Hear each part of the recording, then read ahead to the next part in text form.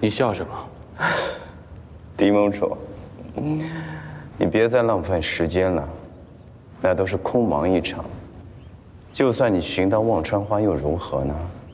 你能逼我吃得下去，却逼不了我动手。到时候我躺在你眼前晒着太阳等死，看着你着急，想想就有趣。李相夷啊，李相夷，难道你就不想知道你的师兄单孤刀到底是怎么死的？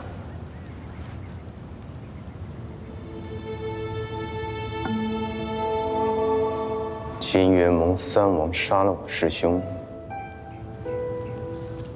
狄盟主还想否认？金元盟的炼尸手册记得很清楚，单孤刀左胸被剑贯入而死，三王中只有阎王许命持剑，他当时犯错，我罚他自负右手一个月，就算动手，也应该是左手，绝无可能右手剑杀你师兄。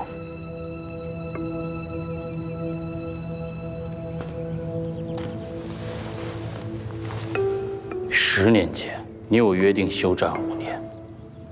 此后，你师兄慕名被杀，金渊盟、四谷门就此大战再起，最终双双失势，没落于江湖。可这背后得利之人，并非你我。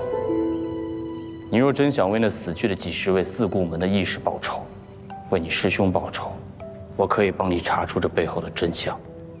只要你答应，和我再战一场。哼报仇，若真要报仇，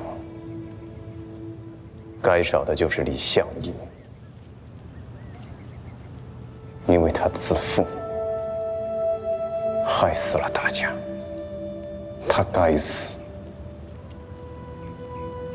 也果然死了。所有的仇怨，跟十年前的李相夷一块儿去了。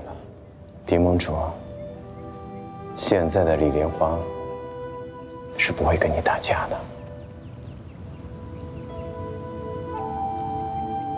我明白，如今的你虽生如死，不可能轻易被我说动。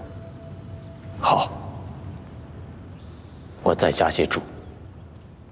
你若不答应我，我亲手杀了单孤刀的儿子。狄盟主啊，你真的别再说笑了。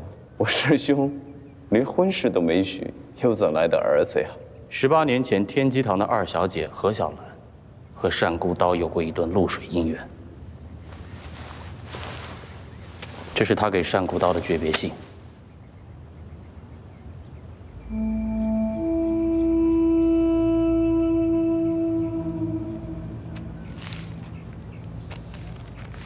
吾爱君之江湖。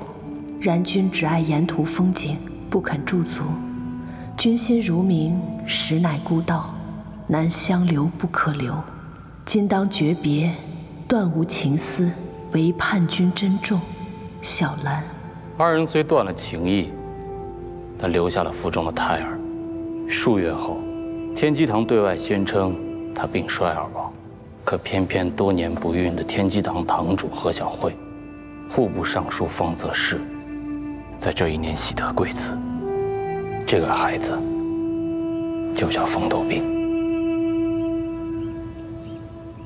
你这么聪明，应该早就猜到了，风头病不是单孤刀的外甥，是他的儿子。